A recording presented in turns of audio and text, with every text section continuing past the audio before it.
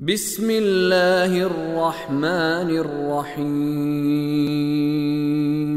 سورة القیامہ کا خلاصہ۔ سورة القیامہ اللہ کے نبی پر نازل ہونے والی اکتیسویں سورہ مبارکہ ہے۔ اس کا موضوع قیامت ہے اور انسان کو خبردار کیا جا رہا ہے کہ قیامت کا انکار در حقیقت اس وجہ سے ہے کیونکہ تم گناہ کرنا چاہتے ہو۔ تم اپنی خواہشات پوری کرنا چاہتے ہو اور قیامت کا تصور اس راستے میں رکاوٹ بنتا ہے لہذا تم قیامت کا انکار کرتے ہو اور اس کو جھٹلانے کی کوشش کرتے ہو۔ اللہ تبارک و تعالیٰ نے اس سورہ مبارکہ کا آغاز قیامت ہی کی قسم سے کیا اور دوسری قسم کھائی، اس آواز کی کہ جو ہر انسان کے اندر سے ملامت کرتی ہے جب انسان کوئی برائی کرتا ہے۔ اور فرمایا کہ یہ دو قسمیں کھانے کے بعد اللہ تبارک و تعالیٰ نے فرمایا، کیا انسان یہ سمجھتا ہے کہ ہم اس کی ہڈیوں کو جمع نہیں کریں گے؟ کیوں نہیں؟ ہم یہ قدرت رکھتے ہیں کہ ہم اس کی انگلیوں کے پور بھی دوبارہ اسی طرح بنا دیں جس طرح پہلے تھے۔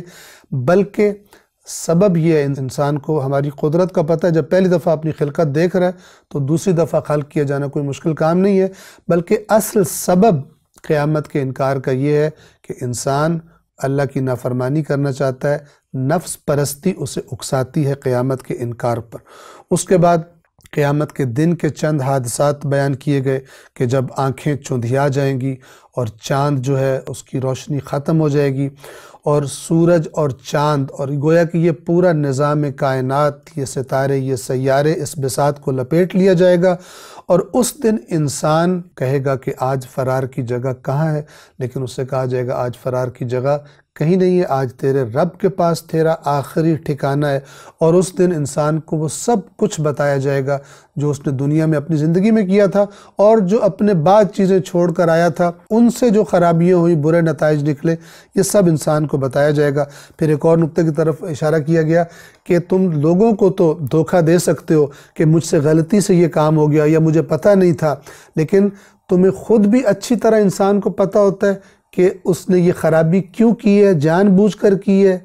اور انسان کے خالق کو بھی جس نے اس سے حساب لینا ہے، اس کو بھی انسان دھوکہ نہیں دے سکتا، وہ بھی جانتا ہے، علیم ان بدات صدور ہوتا ہے کہ انسان نے یہ کام کیوں کیا ہے۔ اور اس کے بعد پھر اللہ تبارک و تعالیٰ نے بات کو جاری رکھتے ہوئے یہ گناہ کرنے کا سبب اور قیامت کو جھٹلانے کا ایک اور سبب بتایا اور وہ کیا کہ تم جلدی ملنے والی جو تمہیں سامنے نظر آ رہی ہے دنیا، تم اس کو بہت پسند کرتے ہو، اس کے پیچھے دوڑتے ہو۔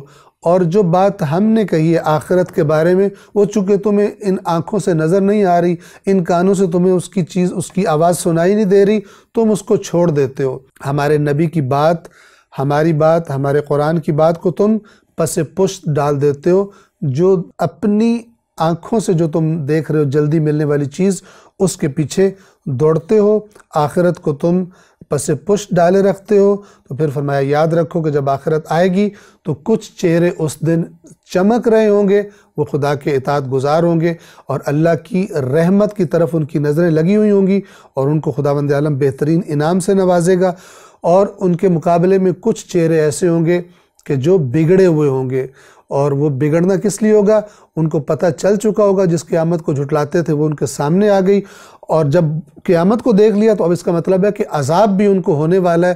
اور وہ شدت حسرت اور شدت پچھتاوے کی شدت، افسوس کی شدت اور آنے والی ان تکالیف کی جو شدت ہے ان سے ان کے چہرے بگڑے ہوئے ہوں گے کیونکہ ان کو پتہ چل چکا ہوگا، یقین ہو چلا ہوگا کہ اب کمر توڑ عذاب ان کو دیا جائے گا۔ اور اس کے بعد اللہ تبارک و تعالیٰ نے ایک ایسے انسان کے موت کے وقت کی حالت بیان کی کہ جو دنیا میں اللہ کی نافرمانیاں کرتا رہتا ہے۔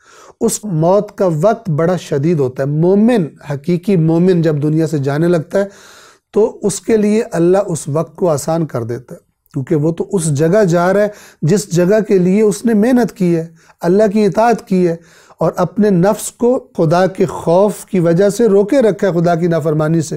تو اس کے لیے دنیا سے جدائی بھی مشکل نہیں اور آخرت کی طرف جانا بھی مشکل نہیں۔ لیکن وہ جس نے آخرت کو جھٹلائے رکھا اور دنیا میں وہ کام کیے جس سے آخرت خراب ہو جاتی ہے، تو ظاہر ہے اس کو دنیا ہی اس کے لیے سب کچھ تھا۔ اس کے لیے دنیا سے جدائی بڑا سخت مرحلہ ہوتا ہے، بڑا تکلیف دہ مرحلہ ہوتا ہے اور ادھر سے جب اس کی آنکھیں بند ہو رہی ہیں اور اس دنیا میں اس کی آنکھیں کھل گئی ہیں، تو اس کو یہ بھی پتہ چل گیا کہ آخرت تو ہے جس کو وہ جھٹلاتا تھا، تو یہ ایک اور تکلیف، دنیا سے جدائی کی تکلیف اور آخرت میں داخل ہونے کی تکلیف۔ تو اس وقت کو اللہ تبارک و تعالی نے بیان فرمایا اور کہا کہ اگر تم قیامت کو جھٹلاتے ہو اور اگلا جہان کوئی نہیں ہے، تو پھر اس وقت کو یاد کرو کہ جب تمہاری جان تمہارے گلے تک، حلق تک آن پہنچتی ہے اور آس پاس تمہارے کھڑے ہوئے رشتہ دار وہ کہہ رہے ہوتے ہیں، ہے کوئی جو کوئی معجزہ کر دے، کوئی جادو کر دے اور اس مرنے والے کو بچا لے؟ وہ تو یہ کہہ رہے ہوتے ہیں، جبکہ جو مرنے والا ہوتا ہے وہ ان کی آوازیں سن رہا ہے، لیکن اب اس کو خدا بولنے نہیں دیتا۔ اس کی آنکھیں اب دوسرے جہان میں کھل گئی ہوتی ہیں اور اس کو یقین ہو چلا ہوتا ہے کہ اب یہ جدائی کا وقت ہے، اب یہ اپنے دنیا میں، اس دنیا میں واپس نہیں جا سکتا۔ اب یہ جدائی ہے۔ اور پھر ایک مصیبت کے ساتھ دوسری مصیبت گویا کہ لپیٹ دی جاتی ہے اور وہ دو مصیبتیں ایک دنیا سے جدائی اور ایک آخرت کا سامنے آنا اور پھر اس سے کہا جاتا ہے کہ آج چلنا تو تیرے رب کی طرف ہے، اب تو دنیا میں واپس نہیں جا سکتا۔ پھر ایسے شخص کی دنیا کی زندگی کا خلاصہ بیان کیا۔ یہ کیوں موت کے وقت یہ بری حالت کیوں ہے؟ کیونکہ نہ تو نے ہماری بات کی تصدیق کی، ہمارے نبی کو تو نے سچا نہیں کہا، اس کی سچائی کا اقرار نہیں کیا، بلکہ تو نے اس کی تصدیق بھی نہیں کی۔ اور اس تصدیق کے نتیجے میں تو نے اپنے رب کی نماز بھی نہیں پڑھی، وہ اپنے رب کو جھکا بھی نہیں، بلکہ اس کے بدلے میں کیا کیا؟ تصدیق کی جگہ جھٹلایا اللہ کے نبی کو، اللہ کے کلام کو، اور خدا کی طرف رخ کرنے کی جگہ خدا کی طرف سے روح گردانی کی، اس پیغام سے روح گردانی کی پش کر لی اور پھر اکڑ کے اپنے گھر والوں کے سامنے جا کر کہا کرتا تھا کہ میں بڑی حقارت کے ساتھ کہ میں نے تو اس رسول کی بات نہیں مانی اور میں نے تو اس کو ٹھکرا دی ہے، تکبر کیا اللہ اور اللہ کے رسول کے مقابلے میں۔ تو اب پھر فرمایا کہ یہی تیری بری روش اور اس بری روش کا نتیجہ وہ عذاب، یہی تیرے لیے بہتر ہے اور یہی تو اسی کا سزاوار اور حقدار ہے۔ اور پھر آخر میں اس سورہ مبارکہ کے اللہ تبارک و تعالیٰ ایک مرتبہ پھر خبردار کرتا ہے اور کہتا ہے کہ تم سمجھتے ہو کہ یہ تمہاری خلقت بے مقصد کی گئی ہے۔ غور کرو تمہاری ابتدا کہاں سے ہوئی؟ ایک نطفے سے، کہ جس کو رحم مادر میں ٹپکا دیا جاتا ہے۔ پھر وہ نطفہ ایک جمع ہوئے خون کے قطرے میں تبدیل ہوتا ہے۔ پھر اللہ اسے مختلف مراحل سے گزار کر بالکل ٹھیک ٹھیک ایک خوبصورت شکل و صورت والا، دیکھنے، سننے والا، سمجھنے والا، سوچنے والا انسان بنا دیتا ہے۔ اور پھر اسی میں سے کوئی مرد ہوتا ہے، کوئی عورت ہوتی ہے، اس کے جوڑے بنا دیتا ہے۔ کیا جس نے یہ پیچیدہ خلقت انجام دی ہے؟ تم سمجھتے ہو یہ بے مقصد انجام دی ہے۔ تم انسان بھی بے مقصد کام کرنے والے کو سمجھدار نہیں کہتے، اسی کو سمجھدار کہتے ہو کہ جو با مقصد کام کرتا ہے۔ تو اتنا بڑا نظام بنانا، اتنی بڑی کائنات بنانا اور خود تم انسانوں کی خلقت جو اتنے مراحل سے گزر کے کی جاتی ہے کیا انسان نے یہ سمجھا کہ یہ ساری خلقت کر کے یہ اتنا پیچیدہ نظام بنا کر اللہ تعالیٰ نے ایسے ہی چھوڑ دینا اور تم سے سوال نہیں کیا جائے گا؟ تم نے اپنے آپ کو جانوروں کی طرح سمجھ لیا۔ جیسے جانور کے اندر چونکہ عقل نہیں ہوتی، وہ جو مرضی کرتا رہے، جہاں مرضی چرتا رہے، اسے کوئی نہیں پوچھتا۔ تو کیا تم نے بھی اپنی زندگیوں کو جانوروں جیسی زندگیاں سمجھ لیا کہ بس آئے ہو چار دن اور کھاؤ پیو گے اور یہاں پر بس لذتیں اس دنیا کی حاصل کرو گے اور تم سے اس دنیا کی زندگی کے بارے میں سوال نہیں ہوگا، اس لیے تم قیامت کو جھٹلاتے ہو۔ اگر تم اپنی خلقت کے مراحل پر غور کرو تو تم اقرار کرو گے کہ وہ ذات کہ جو پہلی دفعہ تمہیں خلق کر سکتی ہے، وہ اس بات پر حتماً اور یقیناً قدرت رکھتا ہے کہ مرنے کے بعد مردوں کو دوبارہ سے زندگی بخش دے۔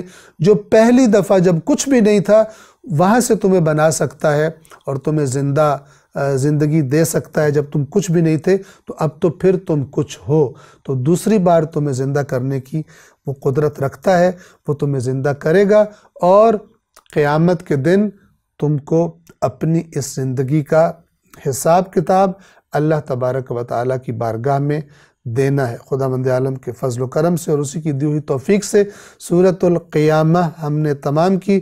انشاءاللہ اگلے درس سے رسول اللہ صلی اللہ علیہ وآلہ وسلم پر نازل ہونے والی بتیسویں سورہ، جو بتیسویں نمبر پر نازل ہوئی سورت الحمزہ۔ انشاءاللہ اس کا آغاز کریں گے۔ والسلام علیکم ورحمۃ اللہ وبرکاتہ۔